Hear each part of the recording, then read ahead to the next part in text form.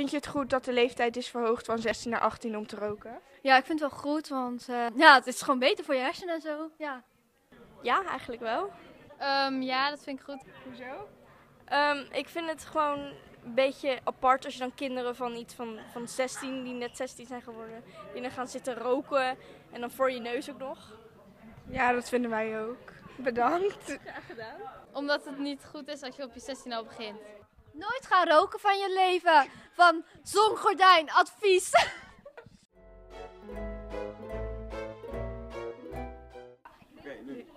Vind je?